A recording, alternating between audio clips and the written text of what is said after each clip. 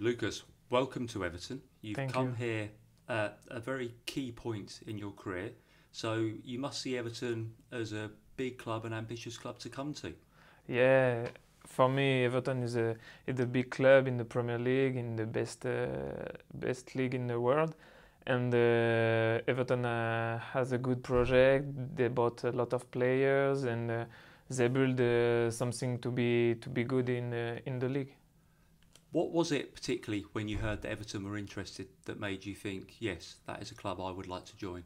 Yeah, um, since uh, two months they they call my agent, and when they when they know if I'm interested or no, I said yeah, I am interested. And when I after I spoke with the with the coach, uh, the feeling was uh, was very good, and I said yeah, I want to come uh, to come in the Premier League, to come in Everton.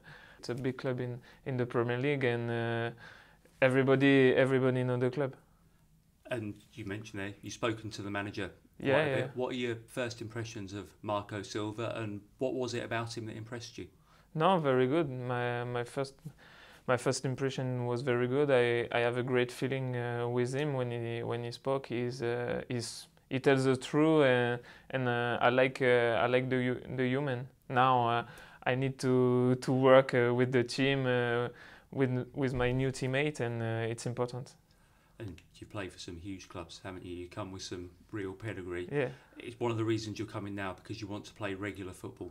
Yeah, of course. Uh, I'm I'm young. I have 20, 25 years old, and uh, I need to to play to play every week, and uh, I want to to show um, to show my best football here, and I want to to discover the the the best uh, best league in the world. You seem like somebody who enjoys a new challenge. You've moved to foreign countries when you've been quite young, so it's not something that you're going to be afraid of coming and moving to. No, England, no, no. I'm not afraid. Uh, I'm uh, exciting. It's uh, for me. It's a new challenge, and uh, to discover a country, uh, a league, uh, a people, a club. Uh, for me, it's uh, it's just uh, just fabulous.